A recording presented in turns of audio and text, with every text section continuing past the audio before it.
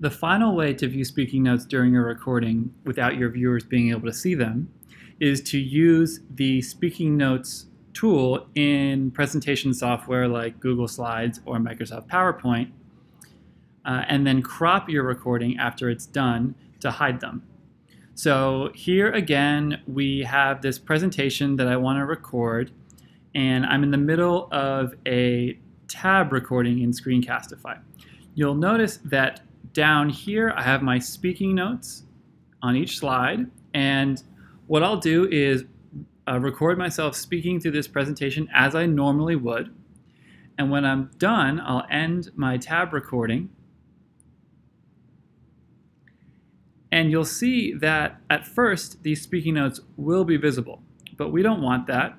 Luckily in Screencastify, it's really easy to crop your recording. Just click the crop icon here and I'm going to drag this cursor so that it only includes the area that contains the slide.